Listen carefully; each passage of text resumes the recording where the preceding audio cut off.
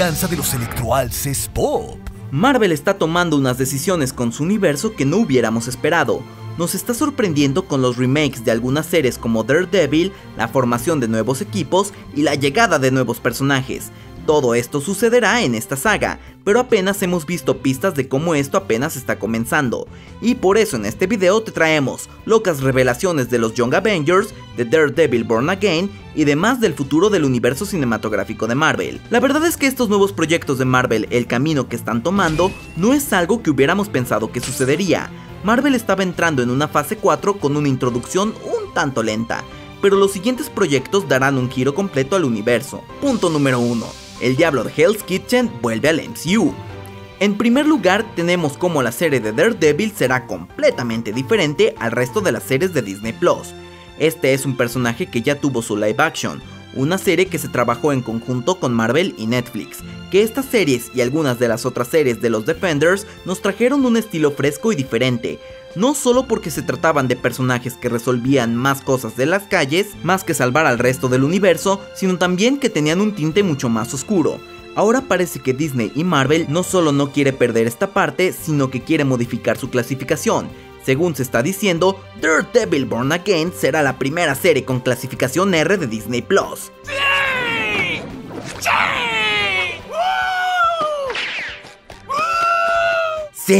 esta serie que se está preparando para su estreno por ahí del 2024 con el regreso de Charlie Cox como Matt Murdock, también conocido como Daredevil.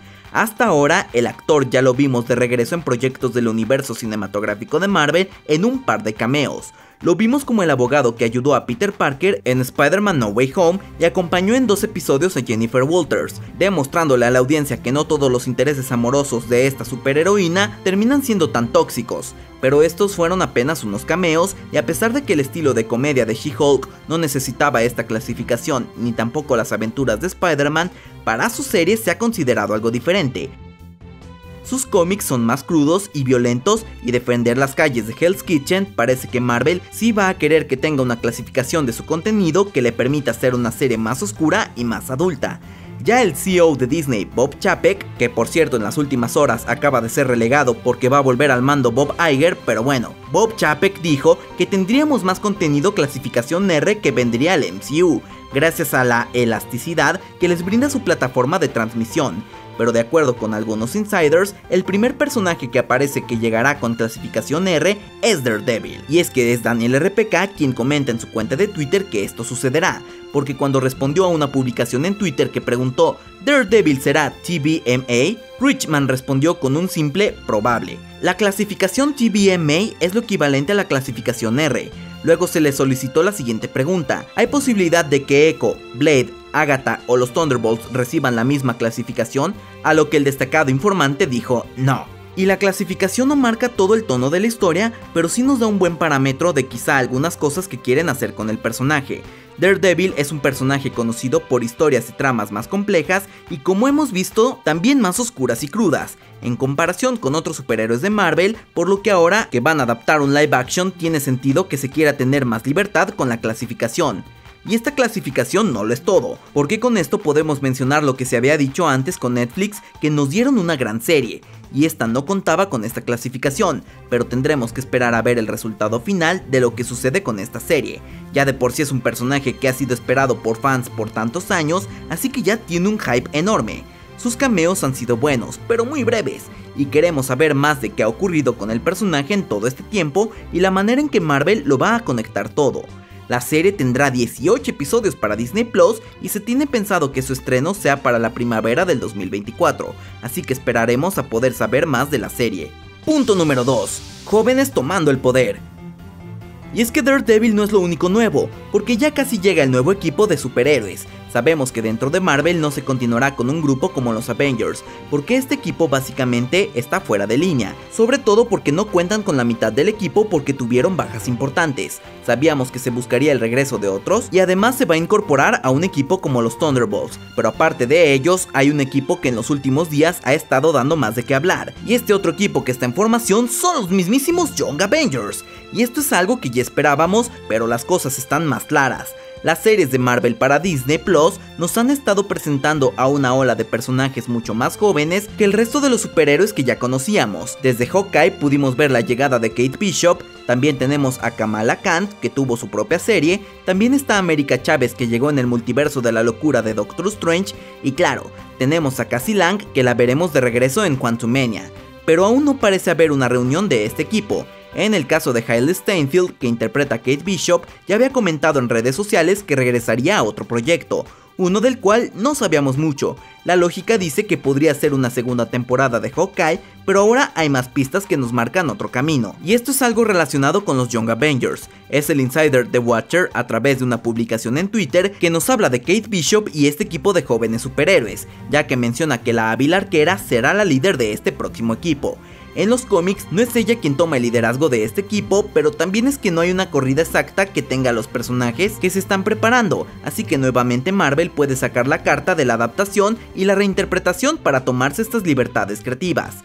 Ya vemos a Kate Bishop con la suficiente capacidad como heroína y con lo que aprendió de uno de los Avengers con su tiempo ayudando a Hawkeye. Tal parece que se espera que este proyecto de los Young Avengers sea una película, una que estaría programada para la fase 6 y es que esto tiene lógica, porque en la revelación del calendario de Marvel hay muchos proyectos que no se revelaron. Ahí podría estar escondida esta película de los Young Avengers que tenga un estreno antes de que lleguen las películas de los Avengers con la dinastía de Kang y con Avengers Secret Wars. Ahora dentro de este equipo se espera que esté América Chávez y la actriz comentó algo al respecto que nos da un poco de spoilers, así que agradecemos a estos jóvenes actores que a veces se les va a hablar un poco de más en las entrevistas. Y es que Xochitl Gómez ha especulado que podría formar parte de la película de la dinastía de Kang debido a los poderes que ella tiene. Es fácil imaginarla que será necesaria en una aventura contra Kang, pero en una entrevista más reciente, la actriz habló un poco más de estos proyectos. En su entrevista para un canal de YouTube habló un poco más de los planes de las películas que se revelaron en la San Diego Comic Con. No habló directamente de que conociera información de estos proyectos de la fase 6, pero sí mencionó que se espera que estos proyectos incluya a los Young Avengers y si recordamos el calendario, hay por lo menos 8 proyectos aún sin título. Parece que hay tiempo en estas cintas para que nos presenten a este equipo. Muchos de estos jóvenes Avengers ya fueron presentados, así que su desarrollo podrá ya comenzar a revelarse tal vez después del regreso de Cassie Lang para la fase 5. Punto número 3. Una incorporación inesperada. Y es que ya también se está revelando quiénes serán los miembros de los Young Avengers. Como mencionamos, hemos visto a varios jóvenes héroes llegando al universo cinematográfico de Marvel. Son muchas las opciones, así que tal vez será un equipo muy grande, pero además de Kate Bishop, los insiders están hablando de alguien más.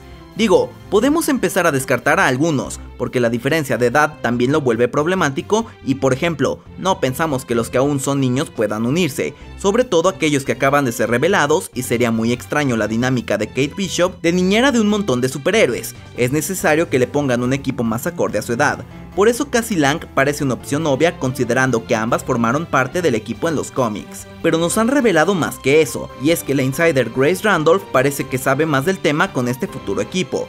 Ella nos comparte más de cómo será este equipo, que no es para nada como la mayoría de nosotros lo había imaginado, y es que al tratarse de una versión más joven, parece que sería fácil buscar a estos miembros en esta realidad y formar el equipo, Considerando que América Chávez técnicamente no es de esta realidad, pues digamos que para allá va la noticia, que el equipo no todos serán de esta dimensión.